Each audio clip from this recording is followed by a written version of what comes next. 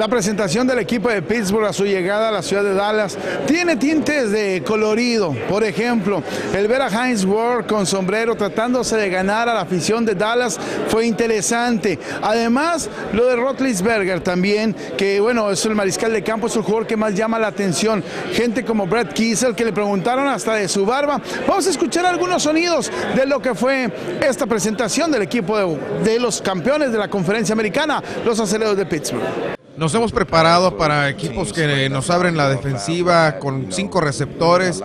Tú sabes, muchos equipos nos han hecho esto en el pasado, pero hemos sacado algo siempre para contrarrestar. Y pues bueno, realmente se lo dejamos todo al coach. Bueno, la experiencia del Super Bowl sirve un poco ahora, pero en realidad el domingo cuando estás en el campo, estás jugando fútbol y no tienes que hacer entrevistas y ese tipo de cosas durante el partido, solamente el fútbol americano. Quizás ellos tengan un poco más de nerviosismo al principio y nosotros quizás estemos un poco más calmados, pero a la hora de la patada inicial todo sale volando. ¿Cómo les afectan los castigos por golpes ilegales? No, no lo creo. Mira, yo siento que a nosotros no nos cambian absolutamente nada. Aún con estos castigos, eh, nosotros seguimos preparándonos igual, de la misma manera, y estamos listos cuando vamos al campo con la misma mentalidad.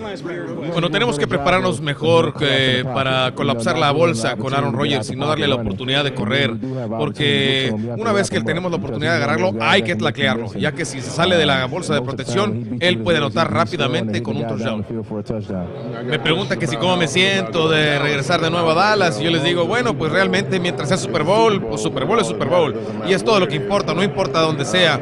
Ahora que, bueno, todavía me siento como en casa, pues apenas son hace 7, 8, 9 meses que regresé de, después de estar aquí de manera regular. Se siente como en casa, pero Super Bowl es Super Bowl.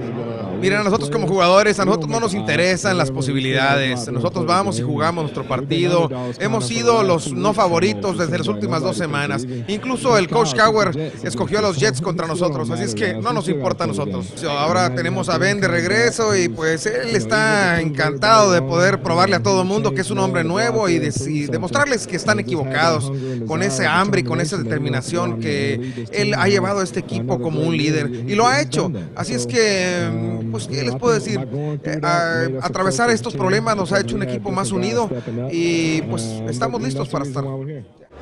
Sin duda todo un personaje, lo que viene a ser Heinz Ward. Ya lo vemos con nuestra compañera, con Antonella Michelena también, platicando Heinz Ward. Y bueno, es el más asediado, probablemente dicen que es el jugador más sucio de toda la NFL los empacadores de Green Bay lo estarán esperando. Me da mucho gusto saludarlos desde la ciudad de Dallas, Texas, en la presentación del equipo de los acereros de Pittsburgh.